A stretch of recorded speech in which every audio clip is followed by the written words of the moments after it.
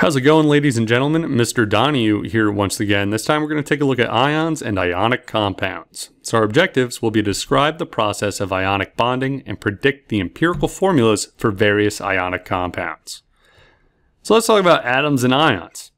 An atom is when it's neutral. Specifically, it's neutral. You wouldn't really say you have a charged atom because that's not what an atom is. Atoms are neutral because protons equal electrons. Here, I have three protons, which tells me I have a charge of plus three, but I also have these three electrons, which tells me I got a charge of minus three. When I combine those, I get an overall charge of zero. So there's no net charge. Overall, it's neutral. Ions, guess what? That's not the case. Protons don't equal electrons. Maybe this atom lost an electron. Well, if I got rid of an electron, now it's got a positive charge overall because electrons are negative, right? So when protons are greater than the number of electrons, you end up with a positive charge.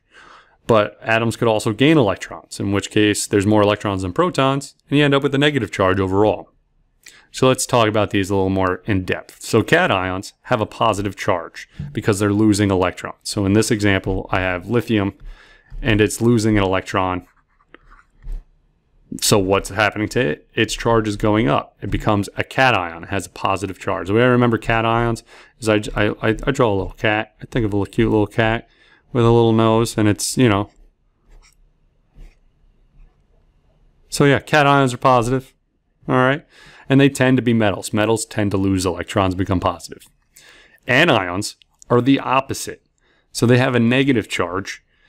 Electrons are being gained. So right here we have nine protons, but we also have nine electrons. Well, what would happen if it gained one more electron?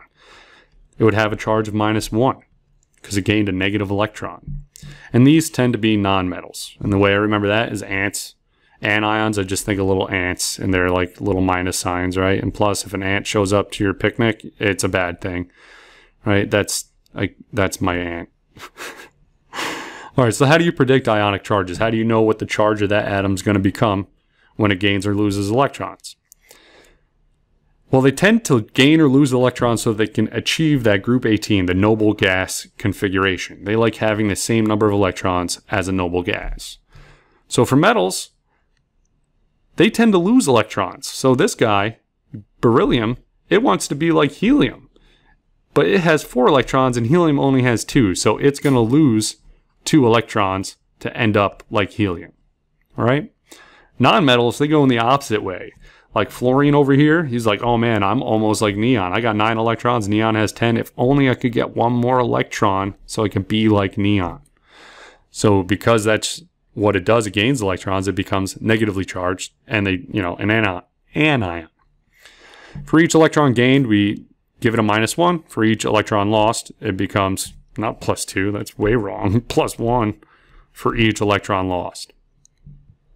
So let's take a look. Magnesium, let's find that on the periodic table. Right here, it's got 12 protons and electrons. It wants to lose them so it can become like neon. It's closest to neon that only has 10. So Mg is going to lose two electrons, which means its charge is going to become plus two, right? That's going to be the charge of magnesium because it lost these two electrons. Where do they come from? Well, magnesium, when it was neutral, had them. It got rid of them so it could become plus two and have the same number of electrons as neon. What about lithium? All right, well, lithium right here has three electrons. Helium only has two. Piece of cake. Lithium is going to get rid of just one electron so it could be like helium, which means lithium becomes plus one. Chlorine Let's take a look at chlorine. Chlorine has 17 electrons. It's almost argon. And the way that it can become argon is if it gained one electron. If it gains a negative electron, its charge becomes negative. Right? And then oxygen, well, here's oxygen. It wants to become like neon because it's closest to neon. Well, it needs to gain two electrons, which means its charge is going to become minus two. That's how you predict the ionic charges. So there's a pattern, right? So lithium, if it wants to become helium, it has to lose one electron. So it becomes plus one charged. Sodium is in the same situation as lithium. it's one away from becoming like neon. So everything in this group is going to end up with a plus one charge. Everything in this group is going to end up with a plus two charge. And then fluorine, everything in fluorine's group is going to become, oh, it has seven, so it wants to gain one, becomes minus one. Group 16, it's going to become minus two. Group 15, it's going to become minus three. And those guys in the middle, we're not going to worry about them. We're not going to talk about them. Ignore them. Transition metals, it gets messy. It's not nice like this. Uh, so that's a whole nother video. So ionic compounds. Where do the electrons go when they're lost? You know, you're saying these things are losing electrons. Where do the electrons go? You're also saying that other things are gaining electrons. Where are they coming from? Where are they getting these electrons? guys, seeing a pattern here? They happen simultaneously. So as one atom loses an electron, another atom's going to gain it, right? So now these ions, right? If this lithium here lost one electron, it became plus one charged. And then if this atom over here, I think is fluorine, it gained one, it becomes minus one charge. What's going to happen? Well, I know that opposites attract and they're going to form this bond. We call that an ionic bond. They're forming an ionic compound. Right? So ionic compounds are formed when atoms transfer electrons, becoming charged and then attracted to each other because opposites attract. Oppositely charged particles are attracted to each other. Typically, these form when a metal and a nonmetal bond together, right? So here we have lithium, which is a metal, right? And we have fluorine down here, which is a nonmetal. So when they interact with each other, they tend to form ionic bonds. So yeah, like I said, lithium is going to lose one electron, right? It's going to leave and it becomes plus one Fluorine is then going to gain that electron, become minus one. And now they're attracted to each other, and that's an ionic compound. That's ionic bonding. So this compound is going to be called LiF, or lithium fluoride. But it is important, this is not a molecule. You're never going to say a molecule lithium fluoride because molecules aren't ionically bonded. So if we take a look at ionic compounds, there's no discrete molecules, right? If I have lithium here and I have fluorine here, but they're charged. The question is, all right, well, which which fluorine is this lithium bonded to? And it's kind of a nonsense question because it's both of them. It's attracted to both, but there's no bond keeping them. They're not stuck together. You know, if they were to break apart, this lithium could break apart with that fluorine or that fluorine. There's no distinct molecules. So when we end up with ionic compounds, we only have an empirical formula to describe it. Now this, what's shown on the picture, is we have two lithium and two fluorine, but that's not an empirical formula, right? Uh, that's we got to give the simplest one. So it's just going to be LiF, and that would be the empirical formula for lithium fluoride. So how are we going to pre predict these empirical formulas? Well, we know that ionic compounds need to have a net charge of zero. Overall, their charge has to be neutral. So positive charges need to be neutralized by negative charges. And here I got an example of magnesium, which is going to become plus two, and nitride, which is minus three. How am I going to get those to balance out? So you got, yeah, how are we going to get two and three to cancel each other out? Where you're going to go is you're going to go, all right, what can I, I can count by twos, I can count by threes. How am I going to meet in the middle? What number do they have in common?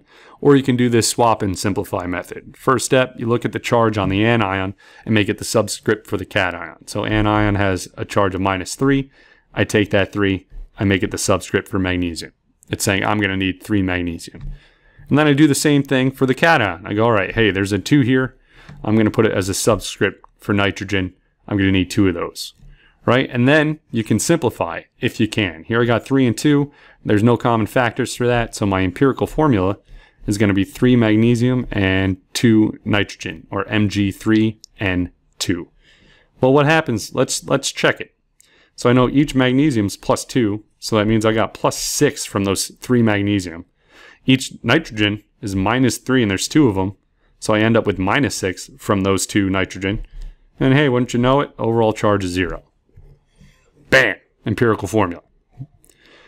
So do a little practice. Pause it. I dare you. Try it. Do it.